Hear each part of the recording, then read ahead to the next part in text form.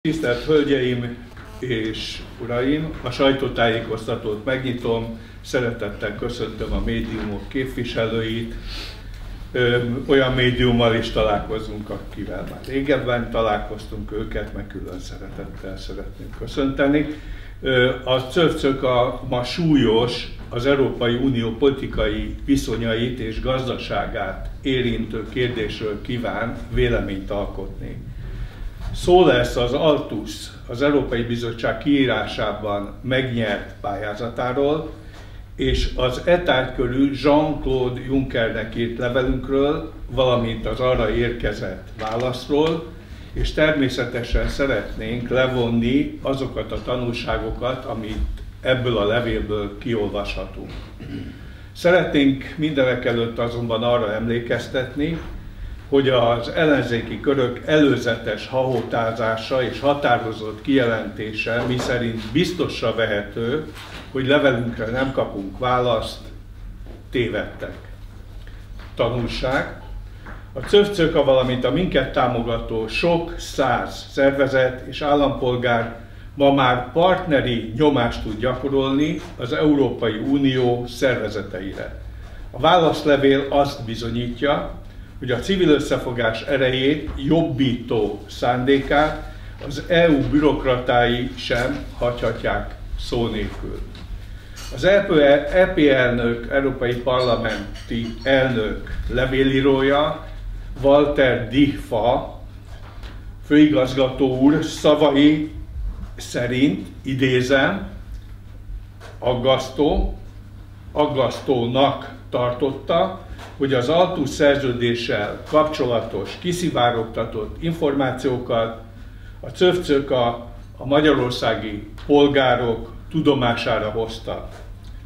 Azt írja, és megint idézném, zavart okozott, és valószínűleg kedvezőtlen képet festett Magyarországon az Európai Bizottságról a pályázattal kapcsolatos cöfcök állásfoglalás. Véleményünk szerint a zavart az Európai Bizottság döntése okozta. Tanulság. Miközben az EP-ben és az EB-ben működik a kettős mérce, a baloldali frakciók képviselői és az EB bürokratái sokszor hamis érveléssel szabadon bírálhatják hazánkat és a aktív civileket. Ezzel szemben láthatóan úgy vélik, hogy európai polgárok szabad véleménynyilvánítását, szólásszabadságát akár korlátozni is lehet. Az EB vezetősége azzal, ahelyett, hogy beismerné, hogy az Altus pályázat kapcsán hibát vétett, politikai érdekeket támogatott, szembe megy az Európai Unió erkölcsi és jogi előírásaival. Úgy tűnik, Jean-Claude Junckernek fontosabb a betyárbecsület, mint az igazság. Tanulság. Itt az ideje, hogy az unió vezetői felvállalják a felelősséget döntéseikért. Ne nézzék az őket foglalkoztató és jövedelmüket biztosító adófizető polgárokat kiskorúnak. Vegyék végre tudomásul, Brüsszel nem a képviselők bentlakásos turista paradicsoma. Az Altus ügy messzebbre vezet, mint hogy azzal lehessen lezárni, amit Jean-Claude Juncker üzen nekünk, hogy minden rendben van. A pályázati bírálók pártpolitikai összeférhetetlenség felett hunytak szemet. Magyarország volt miniszterelnöke tulajdonában lévő cégnek megítéltek másfél millió eurót. Ezt a tényt nem teszi elfogadhatóvá, a pályázat konzorciumos, konzorciumos jellege. A volt miniszterelnök és MSZP pártelnök ellenzéki képviselőként bent ül a magyar parlamentben, új szélsőjobb baloldali pártjának, a DK-nak pártelnökeként. Tanulság. Az EB pályázati döntése pártos, egyoldalú beavatkozási lehetőséget teremt, magyarországi, és ez nagyon fontos, amit mondok, és más uniós jobboldal vezette kormányok fejlesztés politikai működésébe. A szerződést vissza kell vonni. Az Altus ZRT vagy dezinformálta a pályázat elbírálóit, vagy az EU baloldali frakciójának segítségével felhasználva az uniós pénzeket, előre kitervelt negatív megállapításokkal kíván beavatkozni a tagállamok fejlesztési politikájába. Felvetődnek ezután kérdések. Miért kellett a szakemberekkel teli bizottságokból kiszervezni az uniós fejlesztési politikát érintő ellenőrzést többletköltségek okozásával? Miképpen biztosítható a részlehajlás nélküli tanulmány, amikor az autócég vezetője, a DK pártelnökének felesége, kommunista érzelmű nagyszülők és szülők neveltje, és a tulajdonos Gyurcsány Ferenc ma is egy szélsőséges baloldali pártelnöke. Még egy kérdés. Miért tüli el a néppárt vezetősége, hogy európai parlamentbeli párt ellenfelei agályosnak mondható módszerekkel egyszerűen átverjék? A CÖFCÖKA felszólítja az Altus ZRT, hogy könnyítse meg az Európai Bizottság dolgát, és lépjen vissza a kétes, erkölcstelen, vitatható módon megkötött szerződéstől. Sajtótájékoztatunk teljes anyagát elküldjük az Európai Bizottság elnökének, várva a tisztes ügyintézést, valamint figyelemfelhívással cselekvésre biztatjuk az Európai Néppárt elnökét az itt elhangzottak postázásával. Tisztelt Hölgyeim és Uraim, eme kis bevezető után munkatársaim segítséget fognak nyújtani abban, hogy még jobban kifejtsük a cöfcöka és a minket támogatók véleményét, hiszen mindig el szoktam mondani, de most is elmondom, hogy száz meg száz levelet kapunk-e tárgykörben, és úgy szoktunk ideálni önök elé, hogy ezeknek a leveleknek a tartalmát megpróbáljuk egy egyben visszaadni. Most pedig következzék Fritz Tamás, aki politológiai szempontból is fölvázolja állásfoglalásunkat. Parancsolj Tamás! És köszöntök mindenkit nagy szeretettel. Annyit hagyáruljak el, hogy nem szoktuk szóról szóra összehangolni a mondandónkat, így hárman, tehát mindenki mondja a fontosnak tartott véleményét, úgyhogy az a helyzet, hogy most, amit elmondok önöknek politológiai, politikai megközelítésben, az nagyon sok tekintetben összecseng azzal, amit László mondott el előttem, de hát az ismétlés a tudás anyja. Tehát először is szeretném leszögezni jó magam is a CÖF nevében, hogy az a tény, hogy az Európai Bizottság a 2014-2020 közötti uniós pénzek ellenőrzésével egy olyan céget bízott meg, amely egy korábbi magyar miniszterelnök és jelenleg is aktív parlamenti képviselettel kormányzati ambíciókkal rendelkező párt vezetőjének tulajdonában áll, ellentmond az uniós normáknak. Az Európai Bizottság ezzel a döntésével egyszerre tűnik mazohistának és cinikusnak. Ezen túl pedig közvetetten beavatkozik egy ország belpolitikai ügyeiben. Mazohistának azért tűnik, mert Gyurcsány Ferenc volt az a miniszterelnök, aki a működése során olyan konvergencia programot adott át Joachim Almunia, akkori EU-s pénzügyi biztosnak, amely a Gyurcsányt idéző ugye száz apró trükktől hemzsegett. Vagyis Gyurcsány Ferenc alaposan átverte Almuniát és az Európai Bizottságot, Szépséghiba viszont, hogy a bizottság ezt végül felismerte, és ha igaz a hír, a 2006-os magyar választások előtt Almunia egy zártkörű megbeszélésen ezt világosá is tette Gyurcsány Ferenc számára. Ezek után Gyurcsány Ferenc cégét megbízni az EU-s pénzek ellenőrzésével, ez tényleg olyan, mintha kecskére bíznák a káposztát. Másfelől nagyfokú cinizmusra val egy olyan ember cégére bízni a vizsgálatokat, aki miniszterelnökként maga felelt az EU-s pénzek felhasználását végző intézményrendszer kialakításáért és működtetéséért, mely intézményrendszert az e Európai Bizottság maga is bírálta. Harmadrészt az Európai Bizottság egy döntése még szép emlékű André Gutfriend volt amerikai nagykövetségi ügyvívő belügyeinkbe való beavatkozási kísérletein is túltesz. Hiszen vajon mi várható Orbán Viktor korábbi legnagyobb politikai ellenfelétől, sőt bizonyos értelemben ellenségétől? Vajon abban érdekelte Gyurcsány Ferenc, hogy a regnáló kormány számára kedvező, de legalábbis objektív véleményt alkosson a hazai pénzfelhasználás folyamatáról.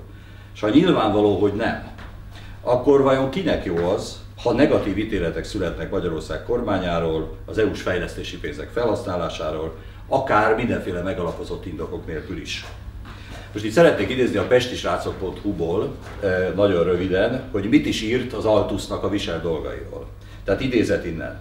Még a Norvég támogatási alap és Soros György alapítványa jóvoltából létező korrupciós lexikon, a K, úgynevezett K-monitor is 98 cikket gyűjtött össze az Altus ZRT gyanús ügyleteiről.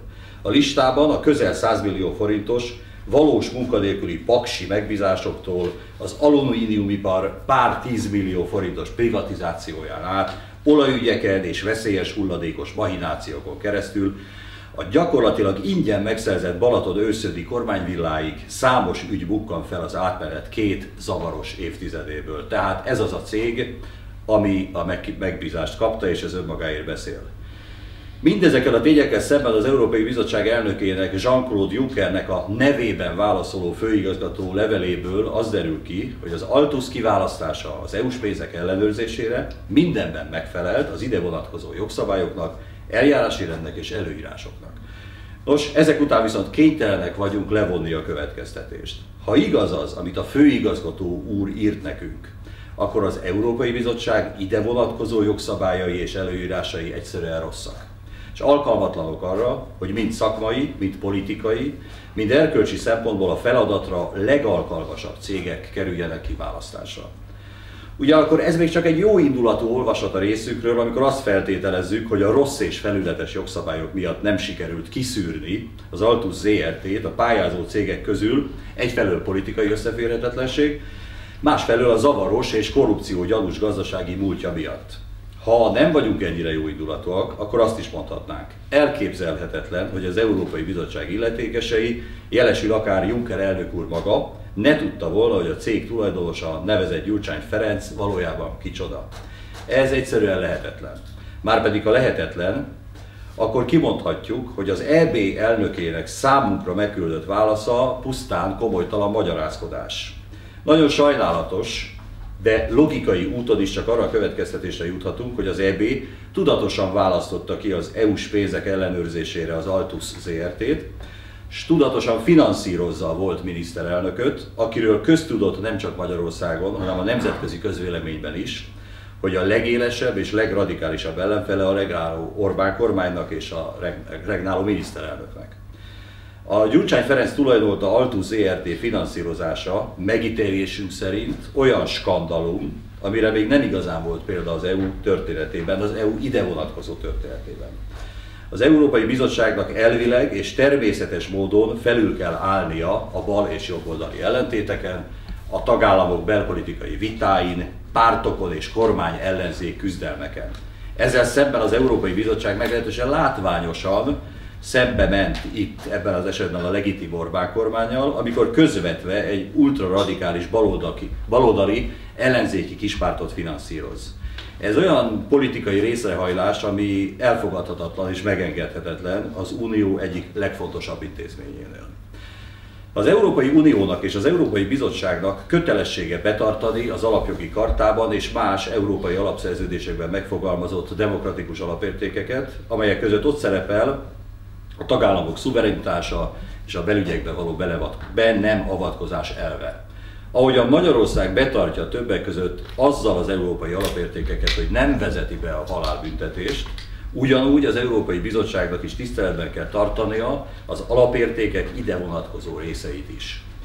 Nem beszélve arról, hogy az EU átható demokratikus szellemiség, ez EU-t átható demokratikus szellemiség azt követeli meg, hogy a bizottság a civilek, az állampolgárok véleményének, akarat nyilvánításának figyelembevételével hozza meg a döntéseit, még akkor is, ha a tagjait nem közvetlenül választják, miként az elnök urat sem.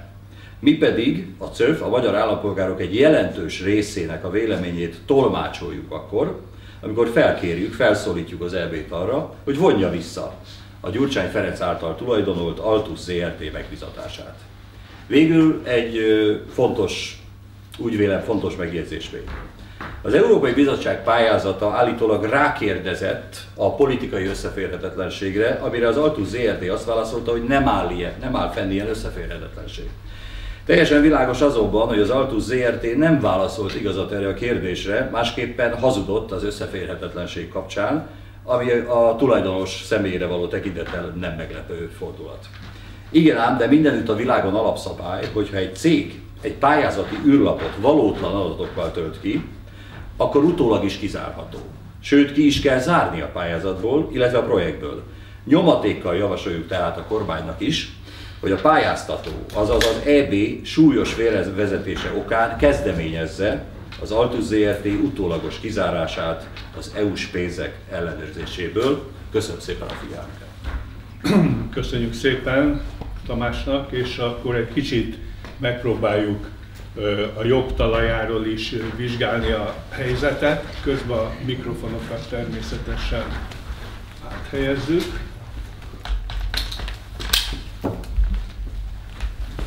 És megkérem ifja Lomlici Zoltán urat, hogy ismertesse az álláspontunkat. Tisztelt kollégák! A jogi helyzet tekintetében azt mondhatjuk, hogy rendkívül egyszerű kérdés előtt állunk.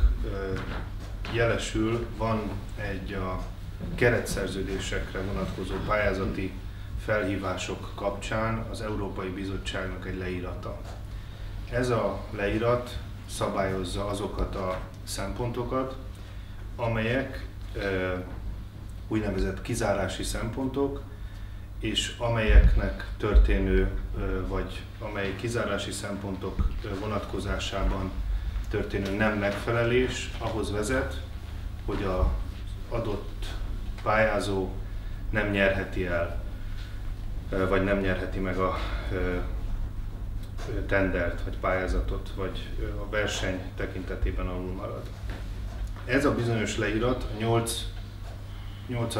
fejezetben egészen pontosan a 8.1 alfejezetben tartalmaz bizonyos kérdéseket, amelyeket most felvetnék, és amelyekre okkal várják a magyar emberek a megfelelő válaszokat. Az első, amely kapcsán vizsgálódnia kell az Európai Bizottságnak minden ilyen pályázati felhívás tekintetében, ez az összeférhetetlenség kérdése, amely vonatkozásában már hallhattunk az előbbiekben részletesen. Nem kívánok kitérni rá, egyértelmű, hogy akár erkölcsi, akár jogi oldalról nézzük ezt a kérdést, az Európai Bizottságnak meg kell vizsgálnia azt például, amit egy magyar ellenzéki politikus is felvetett, hogy Silvio Berlusconi vagy Nicolás Sarkozy cége kaphatna-e egy hasonló megbízást az Európai Bizottságtól. Ezen belül, az összeférhetetlenségen belül itt alszabályok vannak, amelyek még inkább konkretizálják ezt a kérdést. Az egyik a gazdasági érdek. Ez egy nagyon lényeges, hiszen az elmúlt időszakban sokszor felmerültek olyan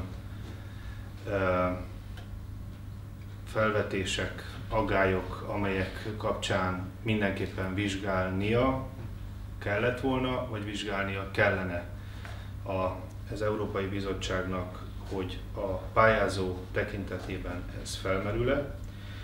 A másik, ami talán még egyértelműbb, ez a politikai vagy nemzeti részrehajlás, tehát hogy felmerülhet-e a pályázó részéről, hogy bármilyen módon esetlegesen politikai vagy egyéb szempontok alapján nem objektív munkát végez, ezt is ki kell vizsgálnia tehát minden esetben az Európai Bizottságnak. És ami talán a legfontosabb, hogy a pályázóknak mindezek, amiket itt felsoroltunk, mindezek hiányát egy úgynevezett becsületbeli nyilatkozatban egyfajta, vagy másképpen is fogalmazhatunk, egy becsület deklarációban kell rögzíteniük, és ezt saját aláírásukkal kell ellátniuk, tehát hogyha ezt a dokumentumot ők kiadják a kezükből, akkor innentől vállalják az abban foglaltakért a felelősséget.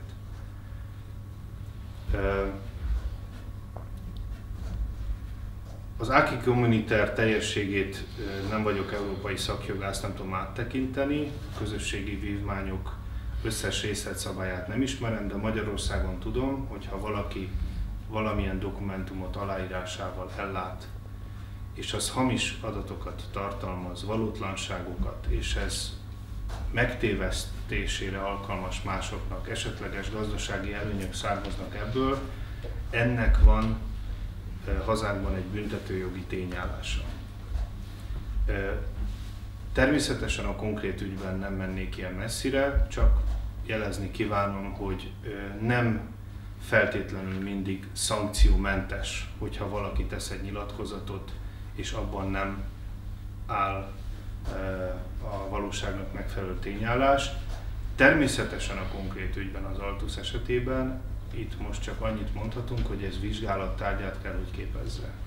Tehát bizonyíték hiányában mi már csak azért is, mert az ártatlanság vélelme mindenkit megillet, annyit tudunk mondani, hogy ennyi aggály után legalábbis jogi értelemben egy alapos vizsgálatot le kellene folytatni.